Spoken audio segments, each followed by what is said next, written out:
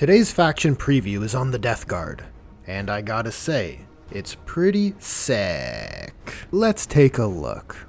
First up is their army rule, and I think we should all thank Grandfather Nurgle that the Death Guard army rule is not Blessings of Nurgle. Roll 7 dice and look to the table and search for your doubles, blah blah blah. Death Guard have kept their contagions mechanic, which for 10th has been rebranded as Nurgle's Gift. It functions more or less as it used to, Enemy units within your unit's contagion aura range reduce their toughness by 1.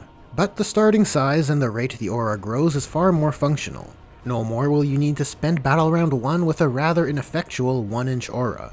And by Battle Round 2 your contagion will be a good functional 6 inches, and from Battle Round 3 onwards you're at 9 inches. And we got their detachment rule on preview. The Death Guard's Plague Company detachment gives them the Spread the Sickness ability, I quite like the direction GW has taken here. Spread the Sickness gives all your Death Guard units sticky objective control once they control an objective in your command phase. And such objectives gain the Nurgle's Gift ability, allowing your units to corrupt the battlefield spreading Nurgle's Garden across real space. It's a strong ability, which is also sickeningly fluffy. Altogether, you get the capacity to debuff enemy toughness in a rather unique way than the conventional choose one target within X inches and with the more generous scaling range, it will be more feasible to lower enemy toughness for your own shooting attacks. And the detachment rule will not only give you the luxury of leaving objectives and pressing forward against armies that are inflexible, but it also serves to create wide areas of the board which debilitate the enemy toughness. And while a unit defending an objective would already have this aura, as you'll see later on, there seems to be some stratagem interplay with this mechanic available to the Death Guard. Oh, well, if you guys are getting sick, then stay away from me.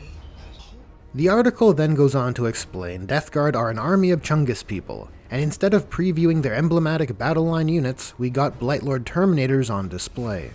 So we might as well make the most of it. We can see the Blightlord Terminators are slow but quite tough, maintaining their superior toughness over standard Terminators, which now pushes them up to toughness 6. I would take this as a soft confirmation Plague Marines are still toughness 5. Looking at their war gear, we can see their plague weapons all have lethal hits which nicely abstracts the corrupted nature of their war gear. And ability-wise, Blightlord Terminators have Blistering Fusillade, which allows them to reroll wound rolls of 1 when targeting the closest enemy unit with ranged attacks, creating a rather gross synergy. Death Guard is situated to be an army with wide access to critical hits auto-wounding, with regular hits having an easier time wounding due to the decreased toughness caused by Nurgle's gift, which is then bolstered by the Blightlord's own Blistering Fusillade. And in the character spotlight, we got a Malignant Plaguecaster. His fixed Witchfire power is Plague Wind, which is comparable to Smite but has the Torrent ability and can dish out a few more shots when focused. But note that it is not capable of dealing mortal wounds the way Smite can. He has two other psychic abilities. Gift of Contagion works on a 2+, allowing you to select an enemy unit within 18 inches, giving their melee attacks minus 1 to wound. A great defensive perk, but an even better one for an army that is already tougher than the standard Astartes. And Pestilent Fallout works with Plague Wind. If it managed to wound its target, that unit has 2 inches subtracted from their movement and a minus 2 to their advance and charge rolls. This sees Pestilent Fallout, and to a certain degree the Malignant Plaguecaster himself, becoming a control tool rather than one which spews out loads of mortal wounds. Which I think is a change for the better, as it's more interactive. Onto the weapons, we have the Plague Burst Mortar in the spotlight. It's lost a pip of AP with the 10th edition AP deflation, but has gained more shots and lethal hits as a Plague weapon, which forces battle shock tests on enemy infantry units which were hit. This I think will add a certain utility to these hard to shift tanks, though in that regard, I do wish we got to see its profile in full.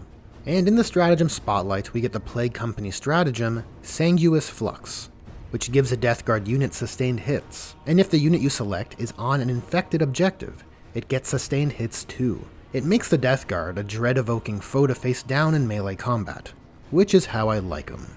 Also, I want to add here, upon further examination, this stratagem could be insanely good. It works on any unit. Meaning? Meaning you could give Mortarion sustained hits too. And while we don't have his profile on preview, I think it's safe to assume he'll be similarly lethal to Guilliman, which is terrifying. And that's it for this one. Pretty good overall, I'd say. I feel what was shown well communicates the Death Guard style of play. though it loses some points. Not showing Plague Marines and Mortarion makes it harder to grasp the floor and ceiling of the army. Plus, I think we're all curious about what the Plague Marine's ability is, and how the Icon of Nurgle interacts with the army rule. I'd also make the case we ought to have seen Mortarion as well.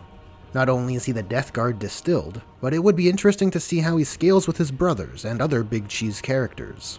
And while the Plague Burst Mortar is a very unique weapon for the Death Guard, given the toughness inflation we've seen, I'd find more value in seeing where the Entropy Cannon sits, so as to better gauge how capable the Death Guard will be at dealing with the inflated toughness standards at range. I'd love to give it a 7, but this one gets a 6 from me. But tell me what do you think of this Death Guard faction focus?